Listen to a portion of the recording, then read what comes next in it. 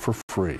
And finally, and bubble wrap is losing its pop. The Wall Street Journal says a company that makes the packaging material is rolling out a new flat version. It takes up a lot less space and costs less to ship. Companies add air to the bubbles themselves. The end result looks like regular bubble wrap, but it doesn't pop. Now, I ask you, some people would be glad to hear that bit of news Hmm. because for some reason they get annoyed when somebody's standing around just Fortunately, popping we are bubble not wrap. those people. We're not those And we Yeah. love this. There's something soothing in doing that, though, isn't there?